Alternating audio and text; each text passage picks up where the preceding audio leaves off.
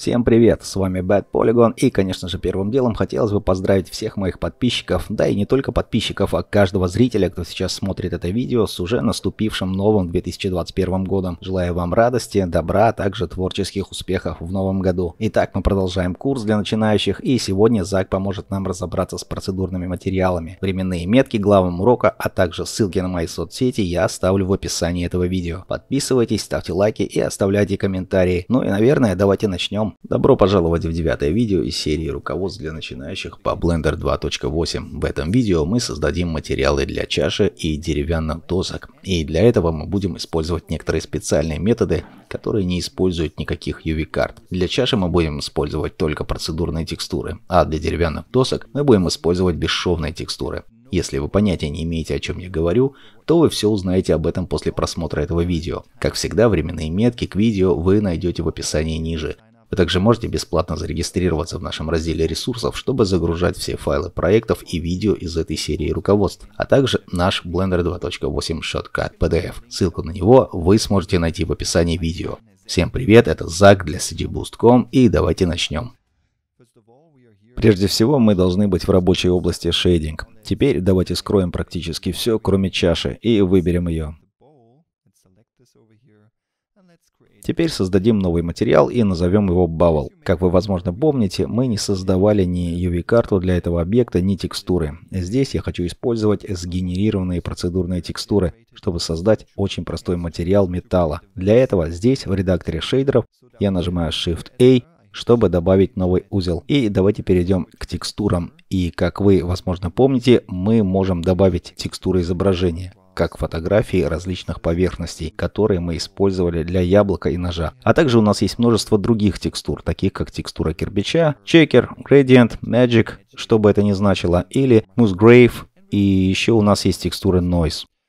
Все это так называемая процедурная текстура. Допустим, если я добавлю текстуру Noise, вы увидите, что нет надобности открывать изображение с нашего жесткого диска. Это простой узел с несколькими значениями. И если я соединю этот выход Color с основным цветом нашего основного узла, вы увидите, что мы получили такой разноцветный шум. Процедурная текстура – это по сути текстура, сгенерированная компьютером, созданная определенным алгоритмом, который добавляет определенный узор нашему объекту, ну или в данном случае этот разноцветный шум. И, конечно же, нам не нужна здесь эта разноцветная чаша, но мы можем использовать эту текстуру шума разными творческими способами. Итак, эта текстура Noise имеет несколько значений. Например, вы можете изменить его масштаб. Мы можем изменить уровень детализации. Теперь, как видите, все стало очень размыто. И если я увеличу детали, у нас будет больше информации в шуме. Еще мы можем исказить это, если захотим. Давайте установим Distortion на 0. Мы можем настроить эти значения за секунду. А пока, поскольку текстура здесь немного растянута, я нажму здесь Shift-A, перейду в Input и добавлю узел Texture Coordinate. По умолчанию эта текстура шума использует сгенерированные координаты текстуры. Вы видите, что нет никакой разницы, если я подключаю это сюда. Но, к сожалению, это немного растягивает текстуру. И есть быстрый способ решить эту проблему, просто используя координаты текстуры объекта. Давайте подключим его сюда, и тогда вы увидите, что растяжение пропало. Пока это в основном то, что нам сейчас нужно знать о ноде Texture Coordinate. Теперь текстура больше не растягивается, и мы не будем использовать ее для цвета. Мы будем использовать ее для создания очень простой карты шероховатости и простой карты рельефа. Но прежде чем мы это сделаем, давайте разместим это здесь и изменим цвет на сероватый. Возможно, добавим немного красноватого. А затем увеличим значение металлик до единицы. Теперь, если бы мы использовали здесь roughness, как вы можете видеть, то мы получили бы очень простую металлическую чашу. Но я не хочу получить идеально гладкую поверхность. Я хочу получить более грубую миску ручной работы. Поэтому начнем создание очень простой карты шероховатости. Давайте нажмем Shift-A, перейдем в Converter и снова добавим Color Ramp. Давайте подключим это сюда. А затем давайте подключим это к Roughness. Теперь с помощью этого черно-белого градиента мы можем контролировать, какие части поверхности должны быть относительно шероховатыми, а какие относительно гладкими. Итак, у нас получилась неровная, не идеально выглядящая поверхность. И я думаю, что оба значения здесь примерно в 5 дадут неплохой результат. И мы должны увидеть это в сочетании с картой рельефа, чтобы затем настроить ее немного, если нам понадобится. Итак, выберите здесь левой кнопкой мыши текстуры Noise, Shift-D, продублируйте его и левым кликом поместите здесь. Кроме того, соедините это с Object нода координаты текстур, чтобы у нас не было растяжения на карте бампа, а затем снова нажмите Shift-A, вектор и добавьте узел Bump. Соедините выход Color с High, а выход Normal с входом Normal основного шейдера. Как видите, у нас перебор со значениями. Давайте уменьшим это до 0,05. И теперь у нас есть неровная поверхность. Много уменьшим масштаб, увеличим детали. Теперь, как видите, у нас есть гораздо больше мелких деталей. И в итоге мы имеем эту красивую чашу. Может давайте немного уменьшим красноватый оттенок, не слишком сильно. Возможно немного увеличим яркость темных значений для карты шероховатости здесь. И возможно немного уменьшим светлые значения. Что ж, я думаю, это уже выглядит хорошо. Помните, что большая часть миски в любом случае будет покрыта тканью. Но все-таки мы увидим какие-то части чаши, поэтому для этого тоже понадобится материал. Но это не должно быть очень детализированным. И да, я думаю, что здесь все окей. Небольшое примечание. Так как вот для этого материала не требуется UV-карта, мы можем присвоить этот материал любому другому объекту, и он будет выглядеть идеально. Так, например, если я снова включу яблоко, помещу его сюда и удалю материал, давайте просто выберем эту чашу, а затем здесь, на вкладке материала, кликните левой кнопкой мыши и зажмите значок «Библиотека материалов». И теперь мы можем просто перетащить выбранный материал на другой объект. Теперь вы видите, что у нас есть металлическое яблоко.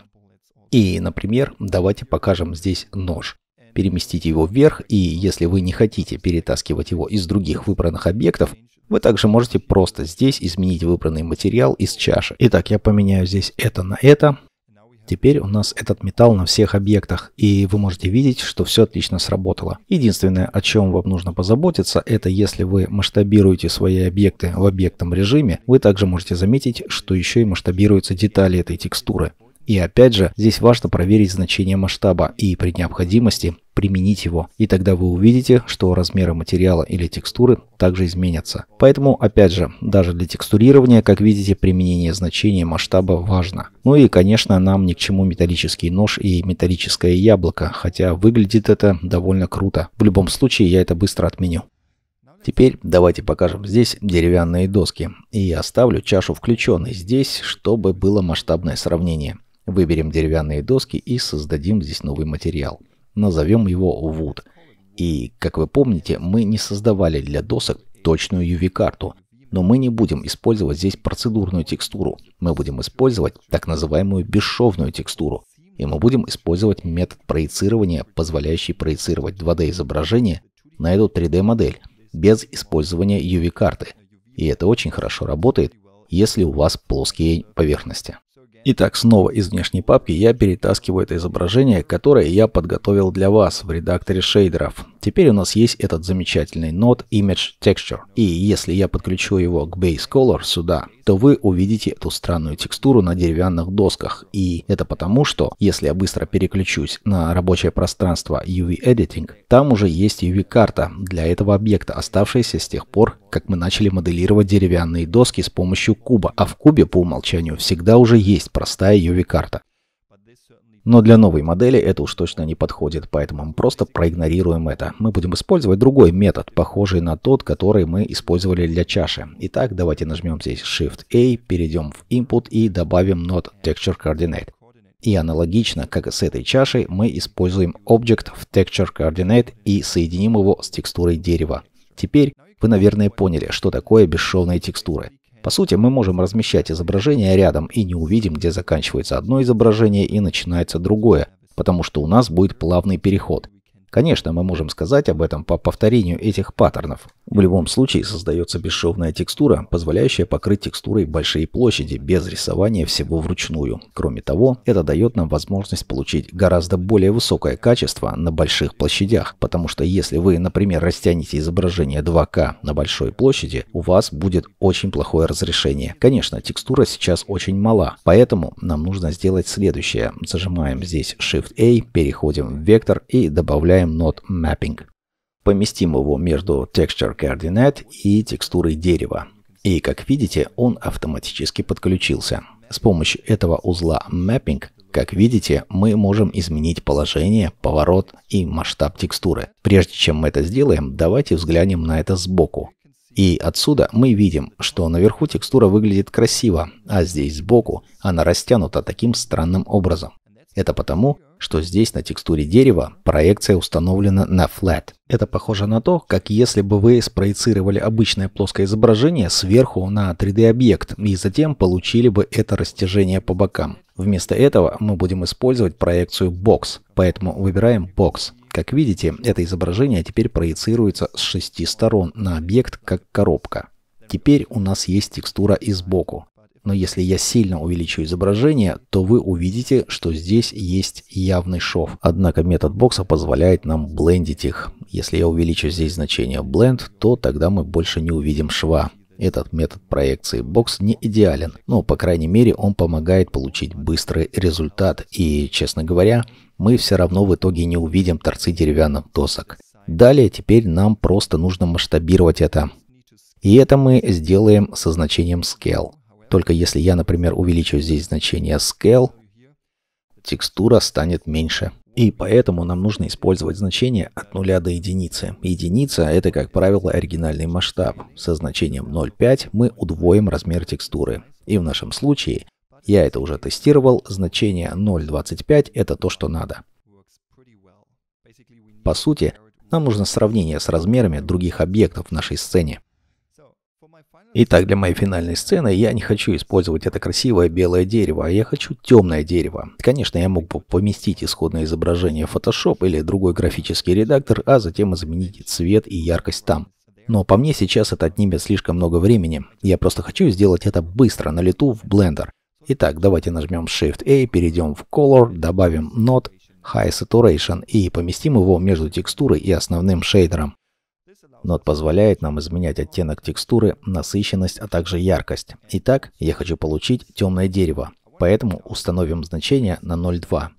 Я также не хочу, чтобы здесь был этот насыщенный цвет, поэтому давайте установим его на 0.4, а также давайте изменим оттенок на 0.45, чтобы получить немного более коричневатый оттенок. Конечно, изменение оттенка работает только если текстура уже имеет цвет. Итак, теперь у нас есть это темно-коричневое дерево. И теперь, опять же, как всегда, нам нужна простая карта шероховатости и карта рельефа. Поэтому для начала пойдем в конвертер и добавим Color Ramp. Подключите эту текстуру сюда и используем ее для шероховатости. И в данном случае я не хочу, чтобы темные участки были блестящими. Я хочу, чтобы блестели яркие участки. И для того, чтобы сделать это, мы по сути должны перевернуть Color Ramp. И мы можем это сделать просто кликнув здесь на этой маленькой стрелке и выбрав Flip Color Ramp. Теперь вы можете видеть, что все светлые области стали более блестящими, а все темные менее блестящими. Итак, мы можем настроить это, изменив эти значения, если захотим. И еще, думаю, мы немного увеличим черный цвет, чтобы не было стопроцентного отражения. И давайте немного уменьшим значение белого, чтобы ни одна из областей не была на 100% шероховатой. И теперь, чтобы добавить здесь последние штрихи, давайте снова зажмем Shift-A, перейдем в вектор, добавим Bump Map. Снова соединим это с деревянной текстурой и входом High. А теперь Normal соедините с Normal основного шейдера. Текстура дерева должна быть слегка грубой, но не очень сильно. Я пробовал значение 0,16 и оно здесь вполне подходит. Конечно, в конце концов, мы все это можем настроить. И что еще помогает, это смена освещения, возможно, на более сильное. И тогда мы сможем увидеть, как в итоге выглядит дерево. И тут я вижу, что пока все в порядке. Возможно, мы подправим это в конце, когда у нас будет финальное освещение. Вернемся к внутреннему освещению, которое хорошо сочетается с нашей сценой. Да, ребята, как видите, даже с простыми настройками нодов в редакторе шейдеров мы можем создавать очень классные материалы. И как вы теперь можете себе представить, с помощью этого нода в редакторе шейдеров можно делать много вещей, и мы коснулись лишь поверхности. В любом случае, я надеюсь, вам понравилось это видео. Если да, поставьте лайк, подпишитесь на наш канал, и отметьте колокольчик под этим видео, чтобы получать уведомления о будущих видео. А если вы хотите расширить свои знания о 3D и еще глубже изучить Blender, вам может понравится наш курс Blender 2.8 Launchpad с самым высоким рейтингом. Этот урок включает около двух сотен коротких и увлекательных уроков, охватывающих все важные основы не только в Blender, но и 3D в целом. Мы выполним несколько забавных упражнений и создадим полную трехмерную анимированную сцену с нуля. Если вы хотите узнать больше, перейдите по ссылке в описании видео. Да, ребята, большое спасибо за просмотр. В следующем видео мы будем создавать материал для ткани. Затем мы узнаем, как использовать изображение с прозрачным фоном для создания листочка. И еще мы создадим разрезанное яблоко. Будет много интересного, не пропустите урок. Увидимся, всем пока.